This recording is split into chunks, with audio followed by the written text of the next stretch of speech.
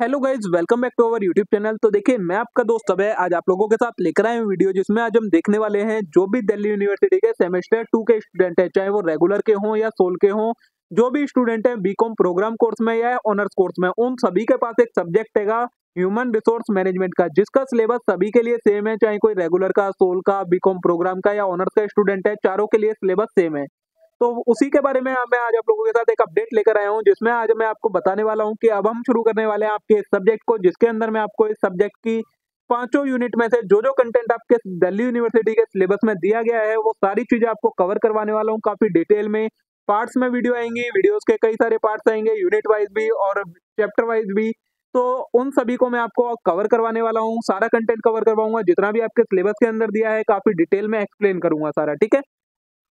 जो ये मैं कंटेंट कवर करवाने वाला हूँ, ये मैं अपनी खुद की जो बुक क्रिएट करी है, उसमें से करवाने वाला हूँ। अगर आपको ये बुक चाहिए तो आप इसे परचेज कर सकते हैं। आपको पीडीएफ फॉर्म में ये बुक परचेज करने पर अवेलेबल मिलेगी, जिसके अंदर आपको जितना भी आपका रेलेवेंट कंटेंट है इंपॉर्टेंट है, वो सारा कवर करा गया है। उसके साथ में कुछ इंपॉर्टेंट क्वेश्चन जो कि मोस्ट एक्सपेक्टेड क्वेश्चन है प्रीवियस ईयर में से लिए गए हैं, वो सारे कवर करे गए हैं। उसके अलावा आपके दो प्रीवियस ईयर के क्वेश्चन पेपर इसके अंदर कवर करे गए हैं। अगर आप इसे परचेज करना चाहते हैं तो व्हाट्सअप या टेलीग्राम पर मेरे को डीएम कीजिए, वहाँ पर आपको इसकी डिटेल मिल जाएगी। तो अब आपको एक एक करके इस सब्जेक्ट की सारी वीडियोस मिलने वाली हैं। तो आप आज की इस वीडियो को लाइक करना ना भूले। चैनल को ज़रूर सब्सक्राइब कर लें अगर आपने अभी तक चैनल को सब्सक्राइब ना करा हो। और इस वीडियो को अपने सभी दोस्तों के साथ शेयर ज़रूर कर दें, जिन लोगों के पास भी ये सब्जेक्ट है। अब हम शुरू करते हैं अपनी आज की वीडियो और देखते हैं सारी चीज़ों को डिटेल में। तो देखिए, आज है हमारे पास वीडियो का पार्ट नंबर टू जिसके अंदर हमें देखना है एम्प्लॉय काउंसलिंग और इससे आगे का कंटेंट इससे पहले का जो भी कंटेंट है, वो पहले से चैनल पर अपलोड हो रखा है। आप प्लेलिस्ट चेक कीजिए, उसमें आपको वो सारा कंटेंट अवेलेबल मिल जाएगा। तो चलिए, आज की वीडियो शुरू करते हैं। एम्प्लॉय काउंसलिंग क्या होता है? Employ counselling is a process in which a trained professional provide support guidance and assistance to employ who may be experiencing personal और work related challenges employ counselling एक प्रोसेस है जिसके अंदर एक जो ट्रेंड पर्सन होता है प्रोफेशनल होता है वो गाइडेंस सपोर्ट और असिस्टेंस प्रोवाइड करवाता है एक ऐसे एम्प्लॉय को जो अपने वर्क में पर्सनल और वर्क रिलेटेड चीज़ों में चैलेंजेस फेस कर रहा होता है तो उसे कहा जाता है आपका employ counselling The goal of employee counseling is to help individual address issues that are affecting their well-being, performance and overall satisfaction at work. इसका जो गोल होता है एम्प्लॉय काउंसलिंग का, वो क्या होता है? उस इंडिविजुअल का जो कि अपने वेलबींग परफॉर्मेंस और ओवरऑल सेटिस्फेक्शन से रिलेटेड अफेक्ट हो रहा है, उस पर्सन का जो भी इशू है, उस इशू को एड्रेस करना, उसे उसकी रिलेटेड गाइडेंस प्रोवाइड करवाना, उसे सॉल्व करना, वो इसका गोल होता है। Employee counseling can address a wide range of issues including stress, burnout, conflict with colleagues or supervisor, performance concern, personal problem impacting work, career development goal and more. Employee counseling कई सारे issues को solve करता है जैसे कि stress होता है जो employee में बर्नआउट करते हैं वो कन्फ्लिक्ट हो जाता है अगर कलीग्स या सुपरवाइजर से performance concern personal problem impacting work या फिर कैरियर डेवलपमेंट गोल्स या फिर और भी कई सारी चीज़ें इन सभी चीज़ों के साथ एम्प्लॉय काउंसलिंग डील करता है By offering counseling services, organizations demonstrate their commitment to support employee well-being, mental health and professional growth employ counselling provide करवा के ऑर्गेनाइजेशन क्या करती हैं? अपनी कमिटमेंट करती हैं कि वो एम्प्लॉय को सपोर्ट करेंगे उनकी वेलबींग को उनकी मेंटल हेल्थ को और प्रोफेशनल ग्रोथ को।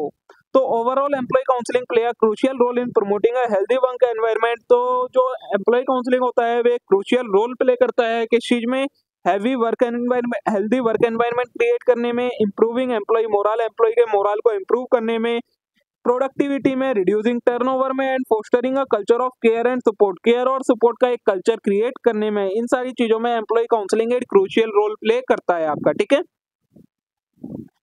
नेक्स्ट आता है कंसेप्ट हमारा जॉब ट्रांसफ़र का। A job transfer is a process in which an employ is moved from one position और location within same organisation to another job transfer क्या होता है? एक प्रोसेस है जिसके अंदर एक एम्प्लॉय को एक लोकेशन से या पोजीशन से दूसरी लोकेशन या पोजीशन पर सेम ऑर्गेनाइजेशन के अंदर ट्रांसफ़र कर दिया जाता है। उसे कहा जाता है आपका job transfer Job transfer can occur for various reasons including career development, organizational restructuring and employee performance issue, personal reason और operational need.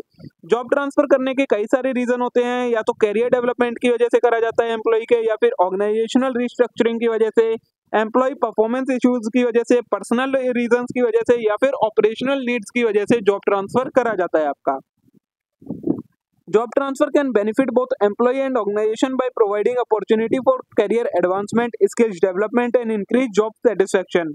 Job transfer से एम्प्लॉय और ऑर्गेनाइजेशन दोनों को बेनिफिट होता है अपॉर्चुनिटी मिलती है करियर एडवांसमेंट की स्किल डेवलपमेंट की और इंक्रीज जॉब सेटिस्फेक्शन की फिर वही चीज़ बताइए आपको पॉइंट में रीजन क्या क्या होते हैं ट्रांसफ़र के? तो employer may initiate job transfer to provide employ with new opportunity for growth and development addressing staffing need in different departments location accommodate personal circumstances of employ to optimise organisational resource and talent जो employer होता है, वो कई reason से job transfer करता है। क्या reason होते हैं? या तो नई अपॉर्चुनिटी देना एम्प्लॉय को उसकी ग्रोथ और डेवलपमेंट के लिए।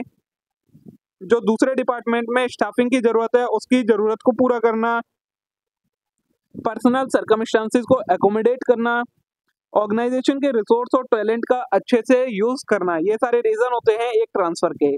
कम्युनिकेशन क्या है? मतलब तो employer should communicate openly and transparently with employ about the reason for transfer जो एम्प्लॉयर होना चाहिए, वो एम्प्लॉय को ट्रांसपेरेंटली और ओपनली कम्युनिकेट करना चाहिए कि ट्रांसफ़र का रीजन क्या है expectations of new role new role से एक्सपेक्टेशंस क्या है टाइमलाइन ऑफ़ ट्रांजिशन ट्रांजिशन की क्या टाइमलाइन है एनी सपोर्ट और training that will be provided to facilitate a smoothly transfer process जो ये ट्रांसफ़र हो रहा है, अगर उसमें किसी टाइप की नॉलेज और स्किल की ज़रूरत है तो उससे रिलेटेड ट्रेनिंग और सपोर्ट प्रोवाइड करवाना, ये सारी चीज़ें अच्छे से कम्युनिकेट करनी चाहिए एम्प्लॉय को ट्रांसफ़र से पहले।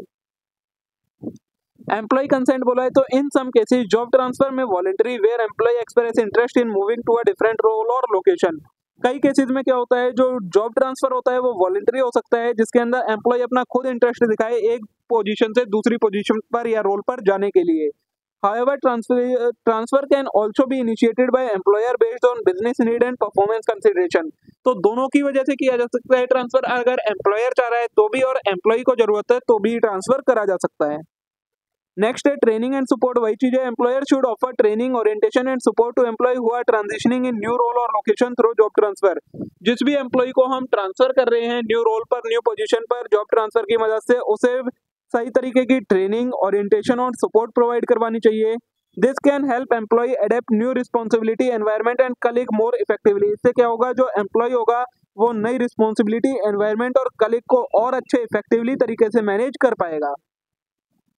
नेक्स्ट है फीडबैक एंड इवोल्यूशन तो after the job transfer has been taken place employer should solicit feedback from both the transferring employ and receiving team to access the success of transfer process अब job transfer अगर हो रहा है, अगर एक place पे, से दूसरी जगह पर एम्प्लॉय का जॉब ट्रांसफ़र हो गया है तो एम्प्लॉय से फीडबैक लेनी चाहिए दोनों से ट्रांसफरिंग एम्प्लॉय से भी और रिसीविंग टीम से भी कि किस तरीके से अब ये ट्रांसफ़र के प्रोसेस ने ऑर्गेनाइजेशन की, मैं किस तरीके से कंट्रीब्यूशन किया अपना। तो उस तरीके की फीडबैक भी लेनी चाहिए, ठीक है?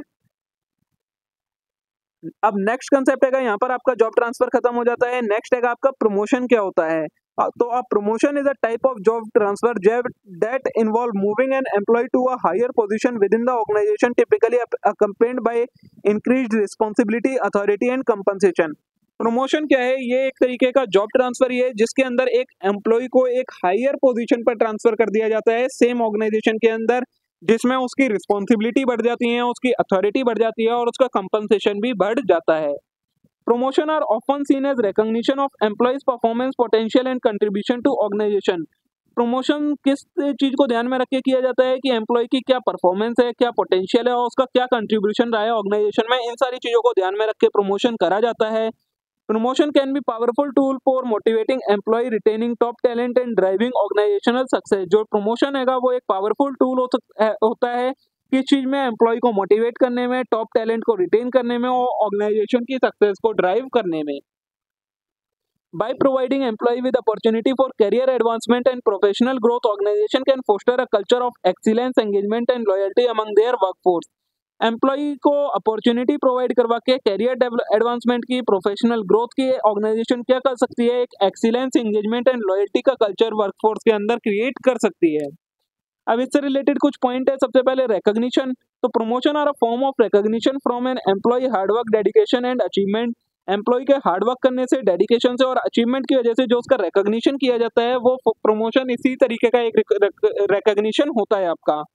They signifies that organization value for employees contribution and is willing to invest in their growth and development. ये क्या दिखाते हैं कि जो ऑर्गेनाइजेशन की वैल्यू है, वो एम्प्लॉय के कंट्रीब्यूशन की वो ऑर्गेनाइजेशन वैल्यू कर रही है और उसकी ग्रोथ में और उसके डेवलपमेंट में ऑर्गेनाइजेशन इन्वेस्ट करना चाहती है नेक्स्ट है आपका कैरियर एडवांसमेंट तो promotion offer employ the opportunity to advance their career by taking और more challenging role expanding their skill sets and gaining valuable experience promotion क्या करता है? एम्प्लॉय को ऑफ़र करता है अपने कैरियर को एडवांस करने की अपॉर्चुनिटी चैलेंजिंग रोल को लेकर अपनी स्किल्स को डेवलप कर सकता है एम्प्लॉय एक्सपेंड कर सकता है और नया नया एक्सपीरियंस गेन कर सकता है। नेक्स्ट है इंक्रीज रिस्पॉन्सिबिलिटी तो with promotion comes increase responsibility and expectation employ may require to manage team project और budget make strategic decision and lead initiative that a broader impact on organisation तो promotion क्या करता है? Employ की responsibility और expectation को बढ़ा देता है। इससे एम्प्लॉय क्या कर पाता है? टीम्स को अच्छे से मैनेज कर पाता है प्रोजेक्ट को मैनेज कर पाता है और स्ट्रेटेजिक डिसीज़न ले पाता है इनिशिएटिव्स ले पाता है, जिससे क्या हो? पूरी ऑर्गेनाइजेशन की सक्सेस डिपेंड करती हो जिस चीज़ पर। ऐसे सारे डिसीज़न इसके अंदर फिर एम्प्लॉय ले पाता है। नेक्स्ट है कंपनसेशन तो promotion often come with a salary increase bonus or other financial incentive to reflect the higher level of responsibility and contribution expected from the employee. Promotion क्या करता है? इसके अंदर एम्प्लॉय की सैलरी भी ज़्यादा होती है, उसे बोनस मिलता है फाइनेंशियल इंसेंटिव्स मिलते हैं, जिससे क्या पता चलता है कि हाँ उसकी अब जो रिस्पॉन्सिबिलिटी है, वो हायर लेवल की रिस्पॉन्सिबिलिटी है और वो अपना अच्छा और अच्छा कंट्रीब्यूशन करे ऑर्गेनाइजेशन की सक्सेस में। नेक्स्ट है ट्रेनिंग एंड डेवलपमेंट तो employer should provide training and mentoring support to employ who are promoted to help them transition smoothly into their new role employer को क्या करना चाहिए? जिस पर्सन का, जिस एम्प्लॉय का प्रमोशन करा जा रहा है, उसे ट्रेनिंग या डेवलपमेंट प्रोग्राम प्रोवाइड करवाने चाहिए, जिससे वो जो ये ट्रांजिशन है, उससे, उसके रोल से रिलेटेड उसमें अच्छे से स्मूथली अपने आप को कॉप अप कर पाए। नेक्स्ट है कम्युनिकेशन तो clear communication is crucial when announcing promotion to ensure that employ understand the reason for promotion एक क्लियर कम्युनिकेशन की ज़रूरत होती है, जब एम्प्लॉय क्या अनाउंस करे, किसी पर्सन का प्रमोशन अनाउंस कर रहा है तो उसे इसके बारे में क्लियरली बताना चाहिए क्लियरली उसे कम्युनिकेट करना चाहिए एम्प्लॉय को। For the promotion the expectation for the new role की, अब ऑर्गेनाइजेशन उसका प्रमोशन कर रही है, उसके न्यू रोल में ऑर्गेनाइजेशन उससे क्या क्या एक्सपेक्ट कर रही है and change in reporting relationship और जॉब रिस्पॉन्सिबिलिटी और इससे उसकी रिपोर्टिंग रिलेशनशिप और जॉब रिस्पॉन्सिबिलिटी में किस किस तरीके का चेंज आएगा, ये सारी चीज़ें कम्युनिकेट करनी चाहिए। ये कंसेप्ट था आपका प्रमोशन का कि प्रमोशन क्या होता है और उसके क्या क्या की एस्पेक्ट्स होते हैं। नेक्स्ट कंसेप्ट है अब हमारा कंपनसेशन क्या होता है? तो compensation is a systematic approach to provide monetary value to employ in exchange of work perform by employ employ ने जो वर्क परफॉर्म करा, उसके बदले में उसे जो मॉनेटरी वैल्यू दी जाती है मॉनेटरी बेनिफिट दिया जाता है, उसे कंपनसेशन कहा जाता है। Employ compensation may achieve several purpose in recruitment job performance and job satisfaction जो एम्प्लॉय का कंपनसेशन होता है, वो कई सारे पर्पजेज में हेल्प करता है कि जो एम्प्लॉय का रिक्रूटमेंट है सिलेक्शन है जॉब परफॉर्मेंस है जॉब सेटिस्फेक्शन है, ये सारी चीज़ें कंपनसेशन के लिए ही की जाती हैं। डेफिनेशंस क्या दिए हैं एम्प्लॉय कंपनसेशन की? तो employ compensation refers to all form of pay given to employ which arise from employment employment की वजह से जो भी उसे पे दिया जाता है, चाहे किसी भी फॉर्म में दिया जाए, वो सारा एम्प्लॉय कंपनसेशन बनता है। इट कैन ऑल्सो भी defined as the reward earn by employ in return for their labour और हार्डवर्क एम्प्लॉय के लेबर और हार्डवर्क के लिए उसे जो रिवॉर्ड मिलता है, उसे हम एम्प्लॉय कंपनसेशन कहते हैं। Another definition compensation is defined as total amount of monetary and non-monetary pay provided to an employee by an employer in return of their work performed as required by organization.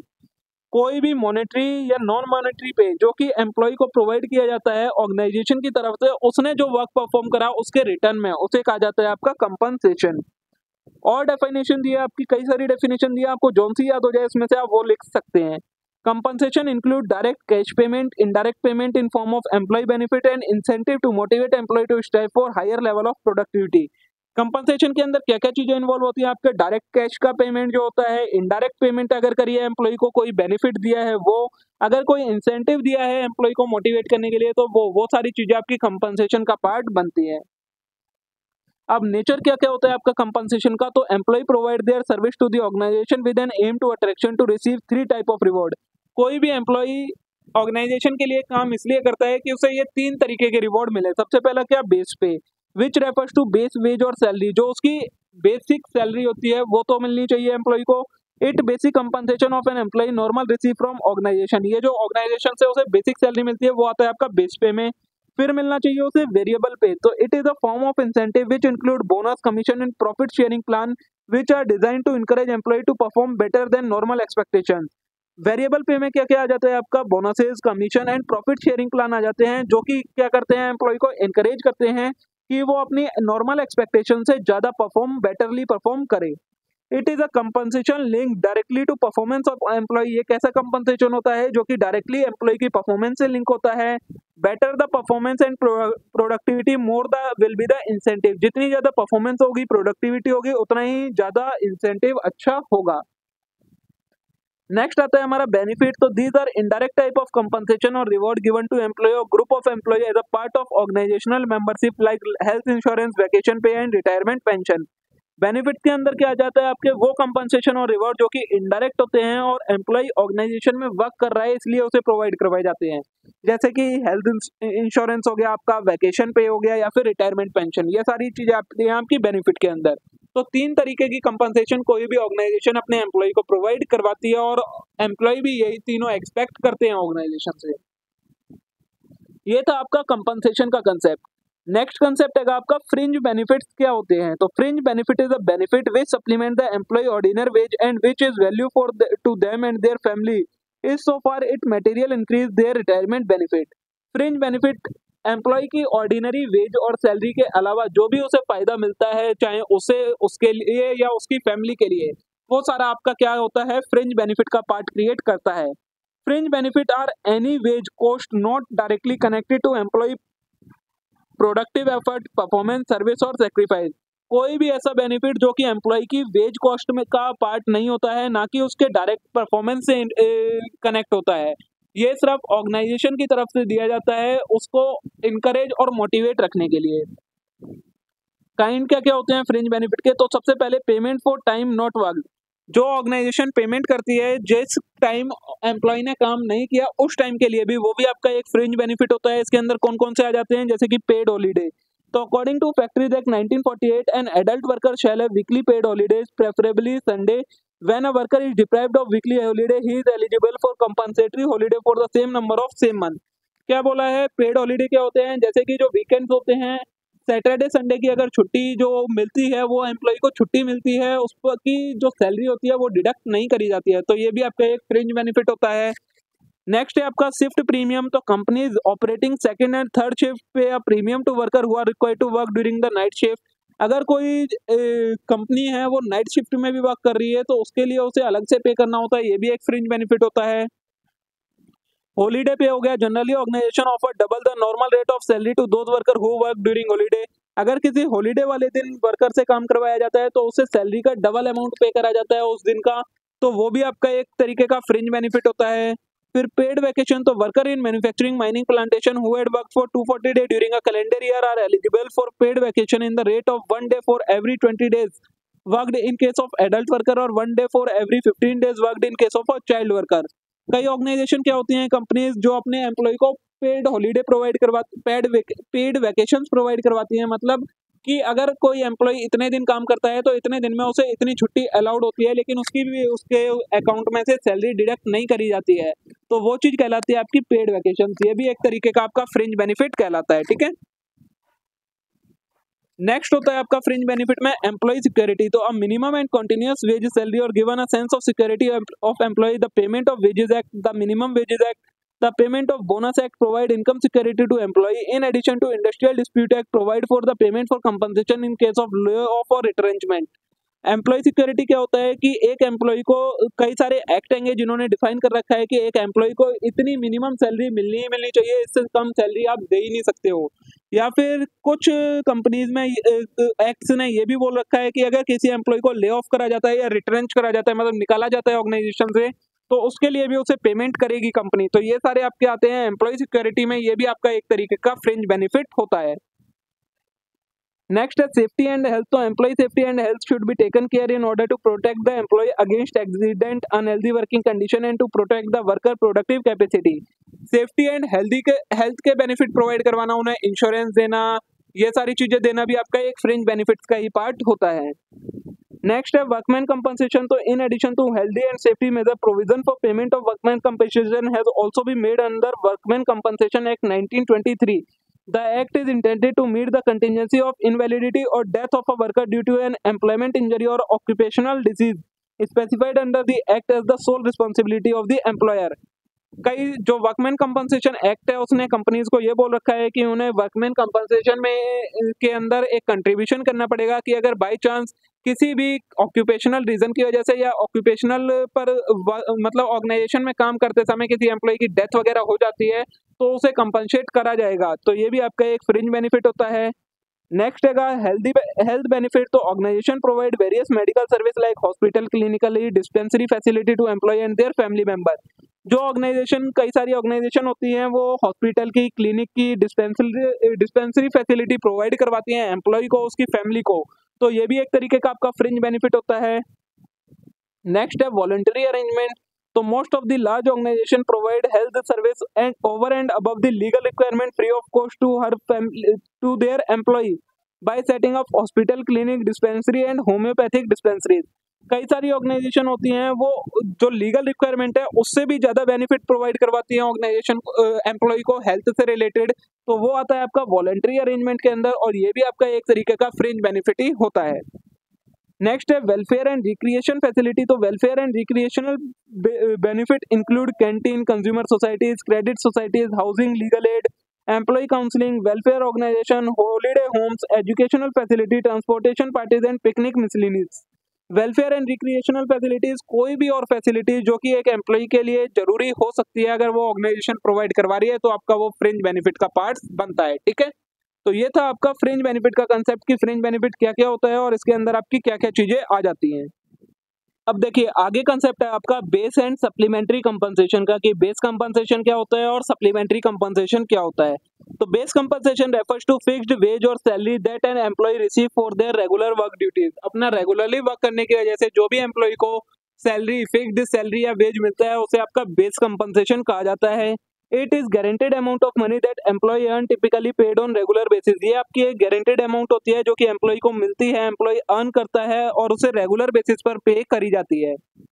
Base compensation is usually determined by factors such as employee role, experience, skill and market rate for the similar position. Base compensation कैसे determine करी जाती है? तो employ का role क्या है? उसका क्या एक्सपीरियंस है? उसकी क्या स्किल्स है? और मार्केट में सेम पोजीशन के लिए क्या कितनी पेमेंट करी जा रही है, उसके बेसिस पर बेस कंपनसेशन डिटरमाइन करी जाती है।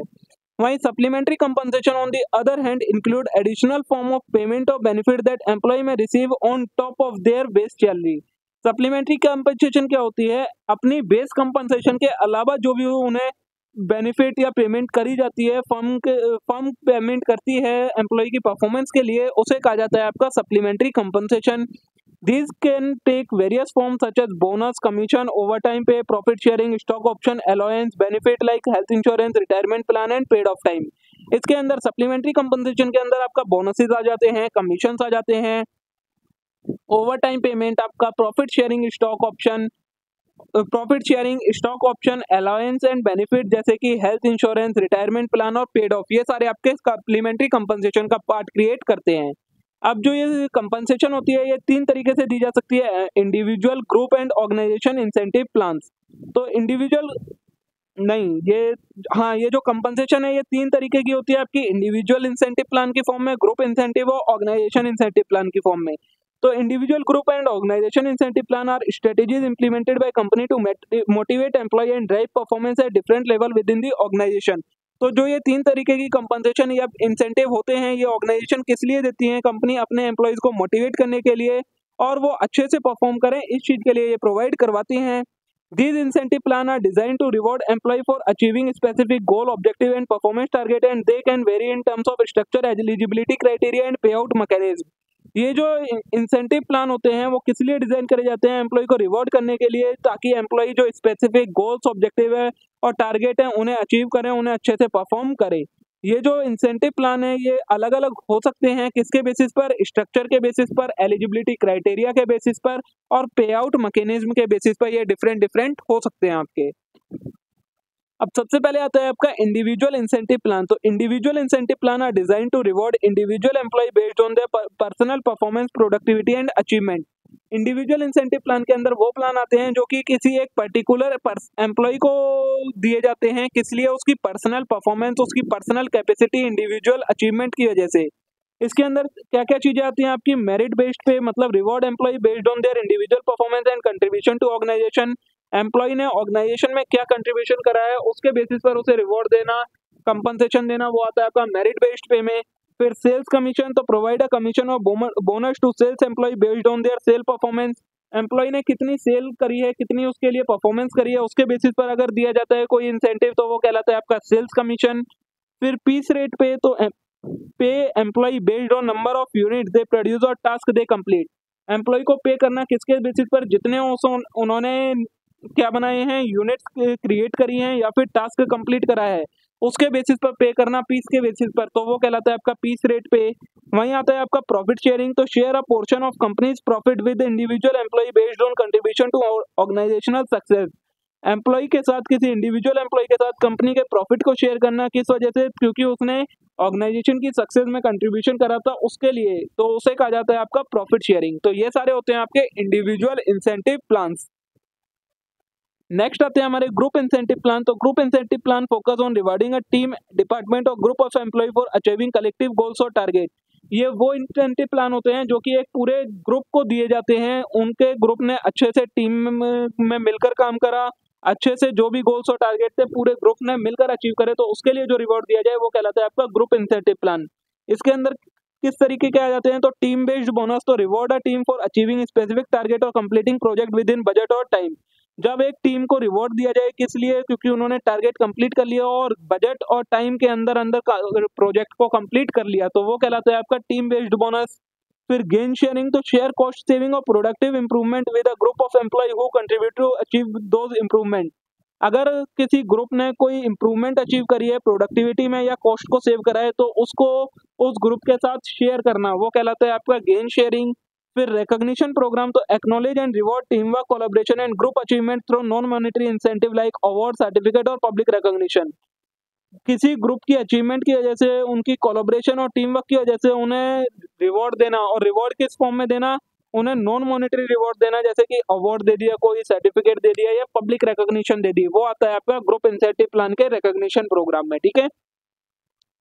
नेक्स्ट अगर थर्ड आपका जो था वो है ऑर्गेनाइजेशनल इंसेंटिव प्लान तो organization wide incentive plan are design to align entire workforce within the organization strategic goal and objective पूरी ऑर्गेनाइजेशन को कोई गोल और ऑब्जेक्टिव अचीव करने की वजह से जो बेनिफिट दिया जाए, जो इंसेंटिव दिया जाए, वो कहलाता है आपका ऑर्गेनाइजेशन इंसेंटिव प्लान इसके अंदर आपका पहला क्या आता है? प्रॉफिट शेयरिंग तो distribute a portion of companies profit among all employ based on overall company performance पूरी ऑर्गेनाइजेशन ने अच्छा परफॉर्म करा तो जो भी प्रॉफिट का शेयर है वो पूरी ऑर्गेनाइजेशन के एम्प्लॉयज़ के साथ शेयर करा जाएगा। वो कहलाता है आपका प्रॉफिट शेयरिंग स्टॉक ऑप्शन क्या होता है? Stock option grant employ that opportunity to purchase companies stock at discounted price as a reward of their contribution to organization success employ ने ऑर्गेनाइजेशन के लिए की सक्सेस में कंट्रीब्यूशन करा तो एम्प्लॉय को ऑर्गेनाइजेशन के शेयर से डिस्काउंटेड प्रोवाइड डिस्काउंटेड रेट पर प्रोवाइड करवाना, वो कहलाता है आपका स्टॉक ऑप्शन नेक्स्ट आता है एम्प्लॉय स्टॉक ऑनरशिप प्लान जिसे ई शॉप्स कहा जाता है। तो provide employ with ownership stake in company align their interest in the organization long term success